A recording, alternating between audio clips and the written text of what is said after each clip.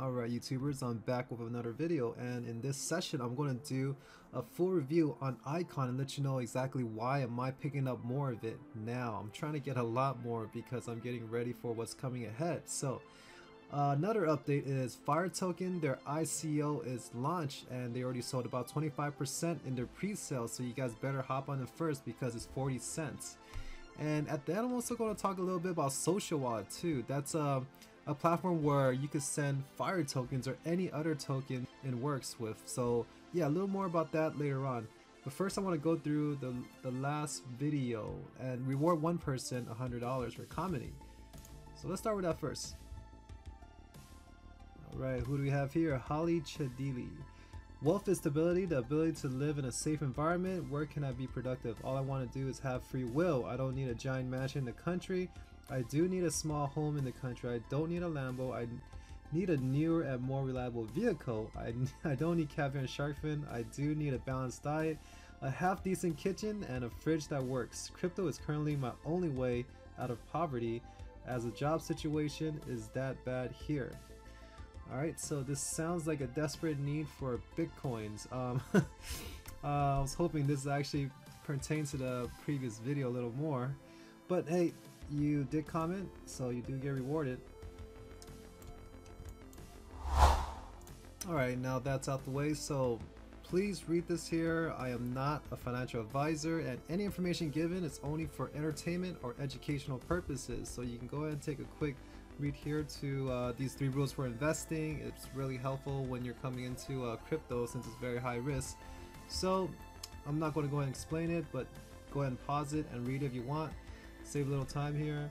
So Fire Token, their pre-ICO started and they are selling. So you have 25% roughly sold. Um, they have three days left and you guys better hop on this quick. It's 40 cents. All right. So this platform, uh, if you actually seen all my previous videos, it's going to change how people are trading. All right. So they're going to do this by moving in volume and they're trying to level the playing field against financial institutions. You know, they got a lot of cool stuff going on. They have a Fire Arcade, so you guys got to come and check out their site. Their new site looks beautiful. I mean, just take a look at this and you'll see why. All right, so come check it out. Um, I did multiple, uh, you know, updates on them, and they have a lot of changes and a lot of uh, communication with the community. So also check out their Telegram. I'm going to leave a link for their Telegram group to check out. Alright, so right now, Bitcoin, this is actually a bull flag that was forming. And I was trying to make a video with this bull flag forming, but hey, already it's too late because the breakout occurred. So all this has to do is get past the 9700 mark, which I am leaning towards because I know, or I believe that this uh, time around, it's going to go past 10,000 but first, it needs to test the 10,000 level several times before it can break past and reach, you know, 10,003 over here. The next resistance line I will see is 11,005. So, so if you see right here, um, it's a strong breakout the entire time to the 9,000 levels, alright? And then instead of it dropping back down and retracing, it continues sideways, alright? It was building up all this uh, pressure and that's what this bear flag indicates but then now it broke out. So we're looking at a potential potential move up. All right so right there 12,000 if another bull flag was going to form it would be the length of the pole. So the next level up will be 12,000 that's if another bull flag like this forms. So um, as long as we test the 10,000 level once, twice, I have a strong feeling that it's going to break past it. Alright? I could be wrong, obviously. You know, we could go back down to, who knows, what's it, 7, 8,000 levels, alright? Highly doubt it. Um, you know, just based on my instinct and how everything's going with the news and one thing I want to really mention here is that BTC dominance has been dropping and it's going into altcoins at 36% there. So, all right, so this is a previous look on what it on Bitcoin's dominance before. This is 2013 all the way to now. So you can see that it was all dominated by Bitcoin. You can see maybe about 90% all the other altcoins. And you see the list here. You know, you have Ethereum, Bitcoin Cash, Litecoin. Um, their dominance was nowhere close to what Bitcoin is. But look what happened here. At one point, this is last year, sometime around summer, Ethereum took off and started controlling the market. Bitcoin went down, and now after that, it reversed, right? So then Bitcoin took over dominance again and Ethereum went down. But right now, look what happened to all these altcoins. You see that white, that white line right there. Actually, it's more of like a, a light gray. Um, is altcoins, all right? Other coins um, that are not on the list here. So that started taking off, and that was early January, and we all seen that um, that massive spike in price for all altcoins all right and then bitcoin lost dominance because everyone's moving all their money into altcoins during the altcoin season so right now after that bitcoin took dominance again all right altcoins lost their dominance and right now the altcoins are coming back hard and bitcoin's losing dominance. But this thing will turn around soon eventually okay? So we've seen all this huge ramp up. Look at this. EOS, Tron, Cardano, and also missing Ontology. That had one of the biggest runs up uh, versus, I mean, I think compared to uh, EOS is about the same. All right, buying Ontology uh, at a dollar eighty, it went to ten dollars within a matter of months. You know, just one month, right? So for that to happen, it's uh, in that short amount of time, it's pretty amazing. All right. Um, but not surprising in the crypto world. So what I'm trying to say is that that with all this ramp up in altcoins, people will have to take their profit and it will get shifted back to Bitcoin. Okay, so that's why you'll see this wave down, up, down, up, and down, giving altcoin dominance. And when altcoin and people are taking profit off of altcoin, Bitcoin will be more dominant again all right? And altcoin will move, move down. So i'm expecting after 10000 uh, possibly when all the new money rushes in fomo in trying to get into bitcoin it'll pump the price even further um, who knows 12000 15000 we don't know when but then when when all the new money starts coming back in because they're seeing interest and don't want to miss the train this time around and it starts making mainstream headlines, you're going to see a big pump in Bitcoin's price. And then you're going to see people even taking profits off their altcoin and putting them back to Bitcoin, further enhancing the price of Bitcoin. Okay, so um, it's going to happen eventually, but not right now. After 10,000, we don't know when, but it's going to happen. All right, keep that in mind. So right now we have here Icon. This is actually the, the main thing I want to state on my video because if you notice all the protocol coins where you can launch, you know, uh, dApps, decentralized apps, all right, ICOs, they're the ones that are going to be the main competitors in the market. Not, it's not going to be those ICOs and dApps that are launched on these protocols. All right, um, it's going to be the protocol itself. So Neo, you know, they have their own protocol, their own language. Ethereum obviously is a, is the main runner up. Now, if you're talking about adoption, Ethereum is number one, Neo is number two. Look how many dApps they already they already have, and they have all quality dApps too. So I started putting more money onto Neo because it has more room for growth.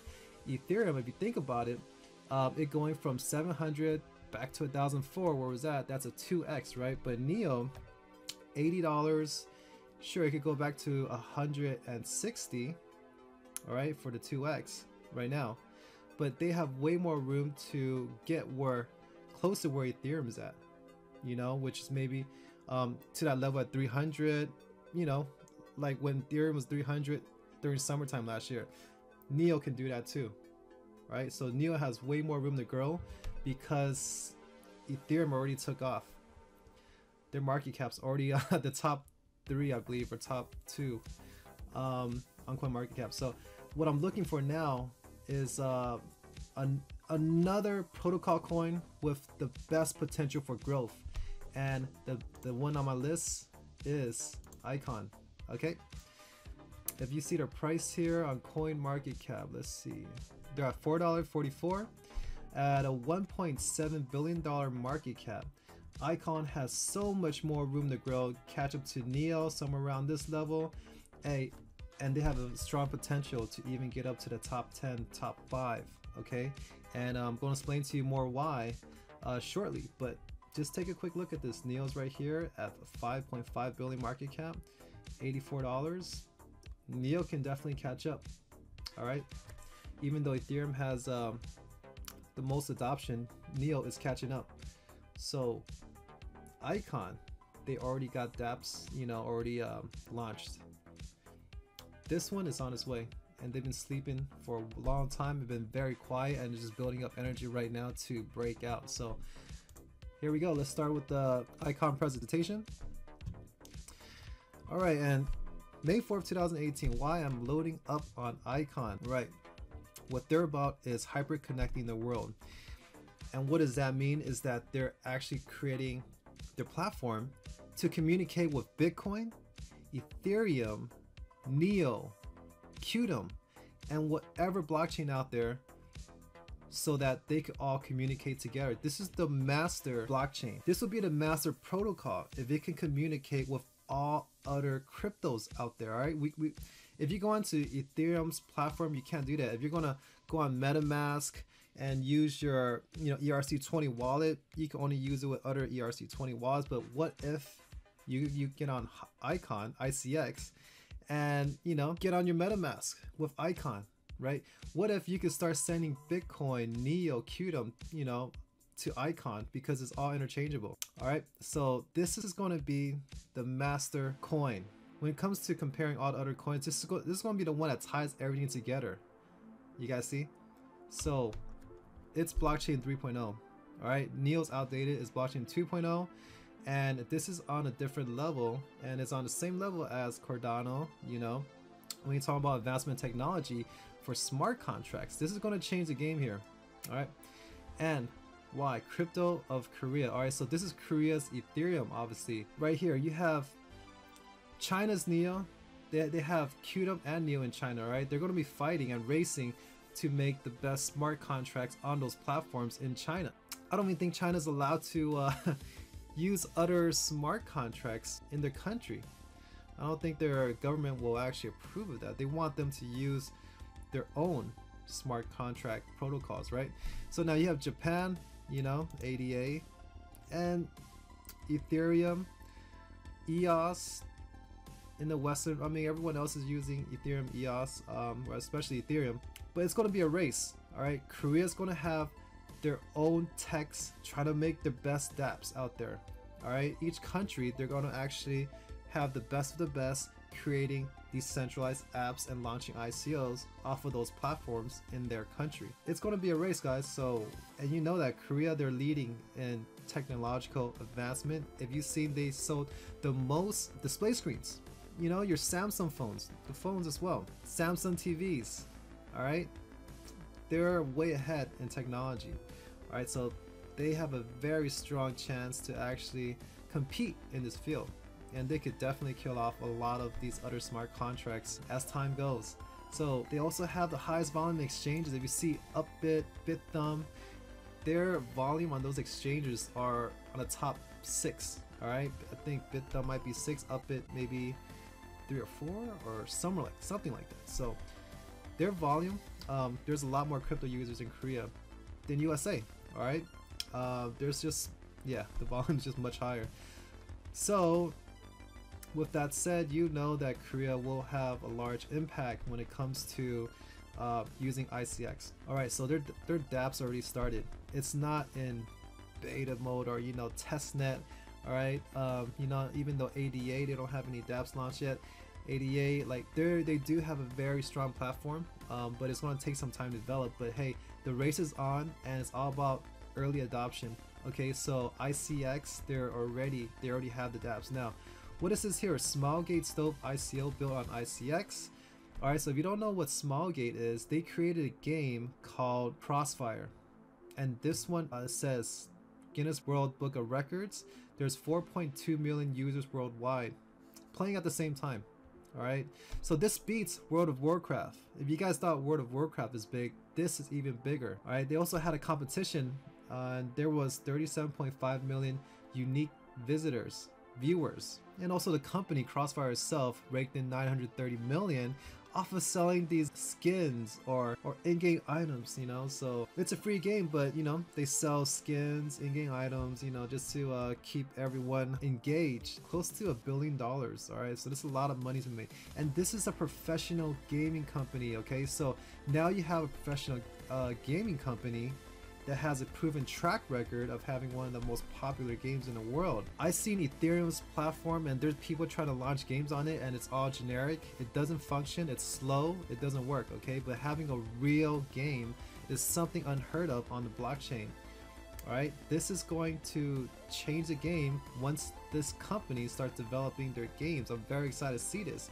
And wouldn't it be nice to, you know, play something similar to like a first person shooter, but right, you know, like even like this, if even copy a game similar to this, right? First person shooter where you can actually level up your character with items. Alright, so check them out guys. Smilegate Stove ICO. Man, I need to get more information on how to get on this ICO because if you have a company this big, creating a game on the, the blockchain, man, I'm sold. All right, most importantly, their partnerships. So you can see that they do have uh, banks over here, security firm, exchanges. You have large corporations like Samsung. All right, you have universities too.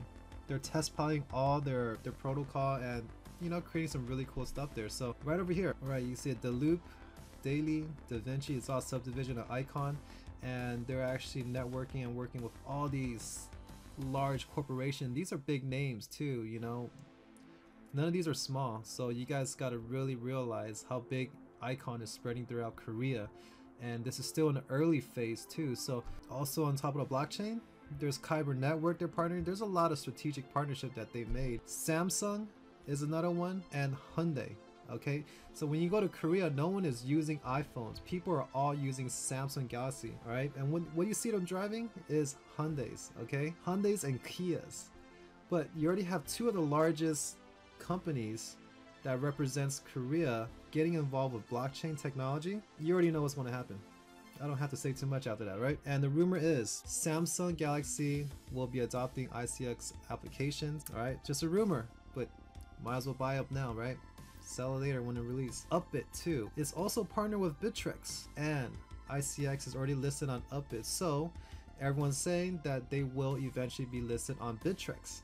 Alright, and you know Bittrex volume in America is huge. I believe they're probably 9th or 10th on um, CoinMarketCap um, according to the volume. So definitely up there in top in terms of volume. Alright, and they have hedge fund investments coming in. Alright, so Here's the CEO of Pantera Capital. He has his eyes on Icon for 2018. And you can go ahead and view this video from 818 to 844. You can find his little segment on what he says about Icon, but he's definitely, this heaviest bag is going to be on Icon, and that's for his hedge fund, alright? For all the investors for a very good reason. These guys know what they're talking about.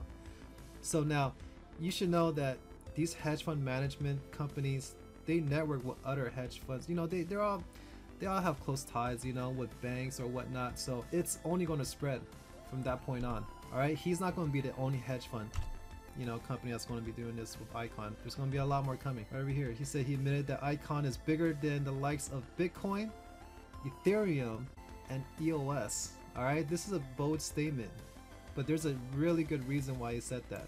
Alright, so stick to the whales, guys. Think like a whale, alright? Think like him. Another thing is that caught my attention is the ICO legalization now. They're lifting the ban in Korea, or they're pushing to lift the ban in Korea. Here's a full article you can read. I'm not gonna go through the entire thing. Um, you can find this uh, this entire guide in on the description below. So just go and check it out if you want to read more. But you have the Democratic Party trying to push for legalization of ICOs. All right, it's going to happen. You guys know that already.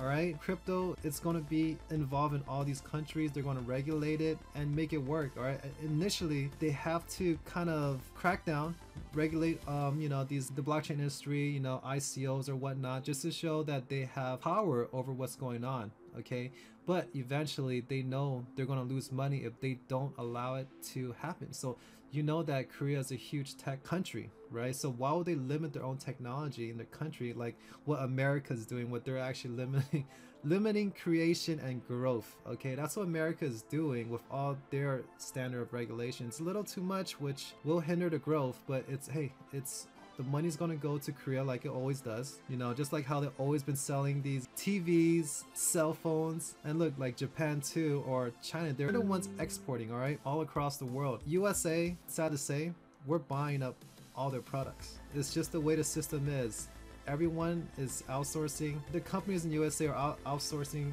jobs in different countries because it's cheaper. We're losing money in USA, you know, and all the productivity and technology is all purchased elsewhere you know, throughout the world. It's sad but true.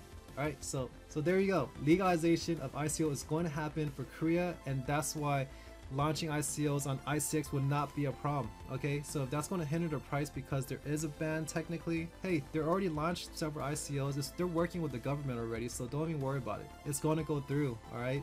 Alright, so you guys know what's going to happen. Moving forward, now the price is very undervalued. Alright, so we're looking at, here you go, right over here, it's at $4.40. Alright, last night it dropped all the way down close to 415 and it bounced right back up. So it's following and respecting this trend line over here very strongly. If you notice, it didn't even break, break past this uh, this blue line here. Okay, so very strong chance that this can continue onward, but it's at $4.43 right now. Alright, it's very underpriced. If if you think about buying into NEO somewhere around $30. This is it right now. Alright, this is ICX when NEO was on $30 because they both would have a 1.7 billion market cap if NEO was at $30. Alright, and ICX is a complete sleeper. They don't focus on marketing. All they work on is partnerships and developing their product. Alright, so that's all they do. And they're doing a token swap right now. So pretty much I have my ICX on Binance. I'm gonna let Binance just take care of token swap. Very convenient and that's their mainnet right there. They already have the ICX tokens swapped out from uh, right now it's currently on ERC20, but they're gonna swap it out to their own tokens. All right, on their own platform. So it's it's getting ready to wrap up, guys. You want to get in before all this happens. All right, so you can already see the dApps happening here. Sentinel Protocol is a blockchain security. That's one of their dApps. Blue Whale, sharing economy, and of course, my favorite, the social game platform, Smilegate Stove. All right, they're gonna kill it right here. Man, I'm excited to see this. You know, a real, actual, you know, high quality game coming out of a blockchain, unheard of. That's gonna happen because if you see on Ethereum, there's their platform is so weak when it comes to developing games or you know anything in that realm. I, have seen it, it, it looks terrible. All right, I tested out some of these games and it doesn't function, it doesn't work, it's too slow doesn't work. But ICX with this company combined, they're going to make it. They're going to make real games on blockchain, all right? It's going to be fun.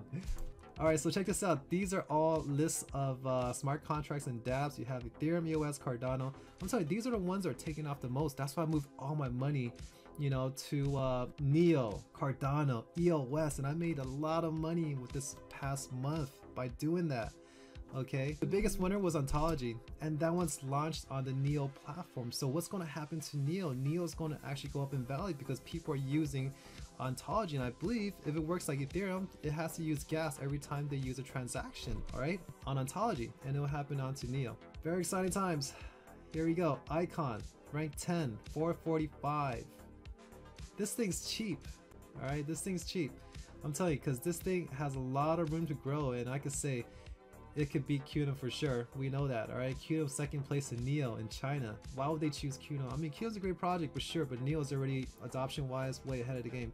So for Korea, they're going to advance and pass a lot of these. Alright, alright, so there you have it. Oh, last thing, Social Wallet. Now, this is another ICO that's coming up in 20 days, and the reason why this is very hot and has a potential just like Fire Token to do a, a 10 or 20x gain in in a few months all right if you understand what they do you can know why. So what social wallet does is you can use any social media platform whether it's youtube twitter facebook. You can send anyone that you don't even know tokens or coins all right so now they partner up with fire token here all right they partner up fire token here meaning that you can actually send anybody fire tokens. All right, you can just send them to the email. All you need is just their username.